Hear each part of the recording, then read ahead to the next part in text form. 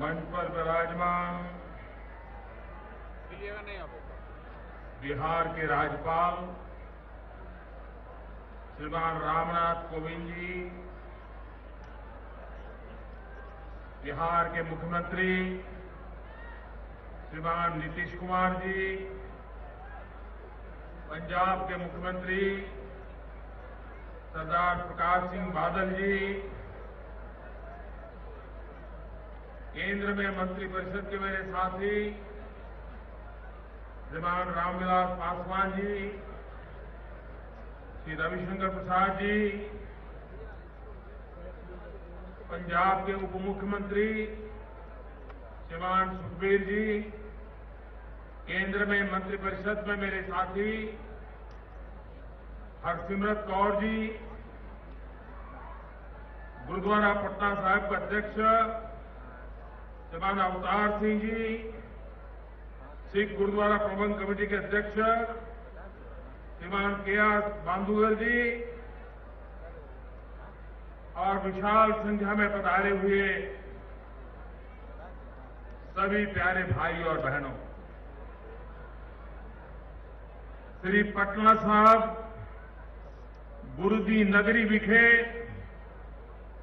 दशमेश पिता ਸਾਹਿਬ ਸ੍ਰੀ ਗੁਰੂ ਗੋਬਿੰਦ ਸਿੰਘ ਜੀ ਮਹਾਰਾਜ ਦੇ ਜਨਮ ਦਿਨ ਦੇ ਦਿਹਾੜੇ ਗੁਰੂ ਸਾਹਿਬਾਨ ਦੀ ਬਖਸ਼ਿਸ਼ ਲੈਣ ਆਈ ਸਾਧ ਸੰਗਤ ਤੁਹਾਨੂੰ ਮੈਂ ਜੀ ਆਇਆਂ ਆਪਦਾ ਹਾਂ ਇਸ ਪਵਿੱਤਰ ਦਿਹਾੜੇ ਤੇ ਮੈਂ ਤੁਹਾਨੂੰ ਸਾਰਿਆਂ ਨੂੰ ਨਵੇਂ ਸਾਲ ਦੀ ਲੱਖ ਲੱਖ ਵਧਾਈਆਂ ਵੀ ਦਿੰਦਾ ਹਾਂ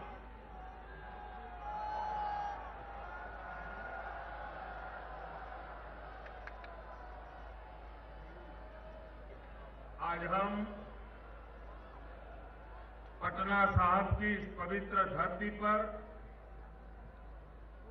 इस प्रकाश पर्व को मनाने में भाग्यशाली हुए हैं। लेकिन आज पूरे विश्व में जहाँ जहाँ भारतीय रहते हैं सिख समुदाय रहता है, दुनिया के सभी देशों में भारत सरकार ने हमारी एम्बेसीज के माध्यम से इस प्रकाश पर्व मनाने के लिए योजना बनाई है, ताकि न सिर्फ़ हिंदुस्तान में, लेकिन पूरे विश्व को इस बात का एहसास हो कि गुरु गोविंद सिंह महाराज साढ़े तीन सौ साल वर्ष पूर्व एक ऐसा दिव्यात्मा का जन्म हुआ, जिसने मानवता को कितनी बड़ी प्रेरणा दी, ये विश्व को भी परिचय हो उस दिशा में भारत सरकार ने भरपूर प्रयास किया है। मैं श्रीमान नीतीश जी को, सरकार को, उनके सभी साथियों को और बिहार की जनता को विशेष रूप से अभिनंदन देता हूँ, क्योंकि पटना साहब में ये प्रकाश पर्व एक विशेष अहमियत रखता है। हिंदुस्तान की एकता अखंडितता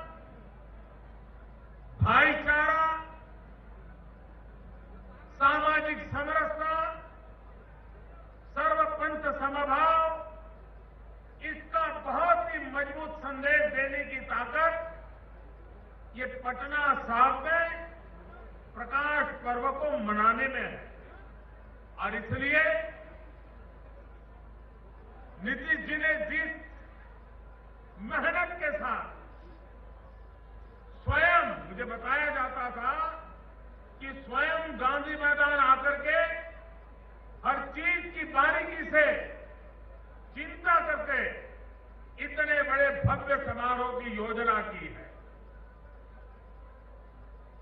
कार्यक्रम का स्थल भले पटना साहब में हो, लेकिन प्रेरणा पूरे हिंदुस्तान को है, प्रेरणा पूरे विश्व और इसलिए ये प्रकाश पर्व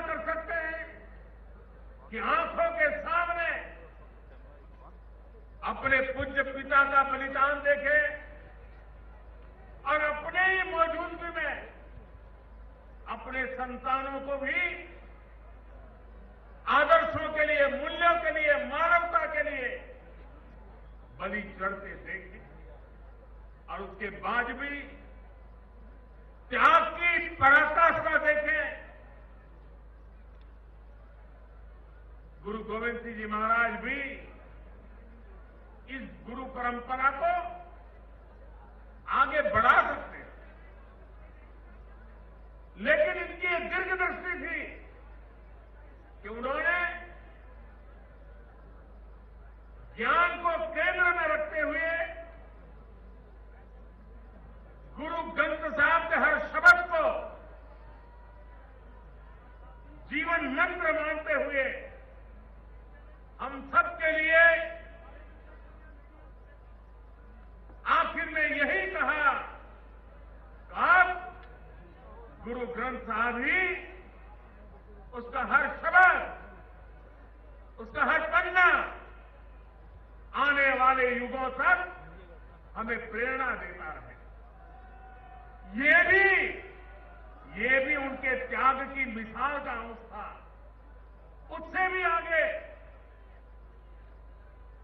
जब पंच प्यारे और खालसा पंथ की रचना उसमें भी पूरे भारत को जोड़ने का उनका प्रयास। जब लोग आदि शंकराचार्य की चर्चा करते हैं तो कहते हैं कि आदि शंकर ने हिंदुस्तान के चारे कोने में मठ का निर्माण करके भारत की एकता को बल देने का प्रयास किया। गुरु गोविंद सिंह महाराज साहब ने भी हिंदुस्तान के अलग अलग कोने से उन पंच प्यारे की पसंद करके समग्र हिंदुस्तान को खालसा परंपरा के द्वारा एकता के सूत्र में बांधने का उस जमाने में अद्भुत प्रयास किया जो आज भी हमारी विरासत है। और मैं हमेशा हृदय से अनुभव करता हूँ कि मेरा कुछ खून का रिश्ता है, क्योंकि जो पहले पंच प्यारे थे, उन पंच प्यारों को ये नहीं कहा गया था, आपको ये मिलेगा, आपको ये पद मिलेगा, आगे आइए। नहीं, गुरु गोविंद सिंह महाराज साहब का कसौटी का मानदंड भी बड़ा ऊँचा रहता था। उन्होंने तो सर कटवाने के लिए निमंत्रण दिया था। आइए, आपका सर काट दिया जाएगा। और इस त्याग के आधार पर तय होगा आगे कैसे बढ़ना। और अपना सर देने के लिए देश के अलग अलग कोने से लोग आगे आए। उसमें एक गुजरात के द्वारिका का दर्जी समाज का बेटा, वो भी आगे आया। और पंच प्यारों में उसने जगह पाई। गुरु गोविंद सिंह महाराज साहब ने उसको गले लगाया। और पंच प्यारे खालसा परंपरा, निर्माण गुरु गोविंद जी महाराज साहब ने, वे चाहते उस दिशा में ये परंपरा चल सकती थी, लेकिन ये उनका त्याग उनकी ऊंचाई थी कि गुरु गोविंद जी महाराज साहब ने स्वयं को भी उस बंधनों में बाँध दिया। और उन्होंने कहा कि ये जो पंच प्यारे हैं, ये जो खालसा परंपरा बनी है, मेरे लिए भी न करना, कब करना, कैसे करना, ये जो निर्णय करेंगे, मैं उसका पालन करूँगा। मैं समझता हूँ कि गुरु गोविंद सिंह जी महाराज साहब का इससे बड़ा त्याग की कल्पना कोई कर नहीं सकता कि जिस व्यवस्था ने खुद को खड़ी की, खुद की प्रेरणा से व्यवस्था खड़ी हुई। लेकिन उस व्यवस्था को उन्होंने अपने सर पे बिठाया।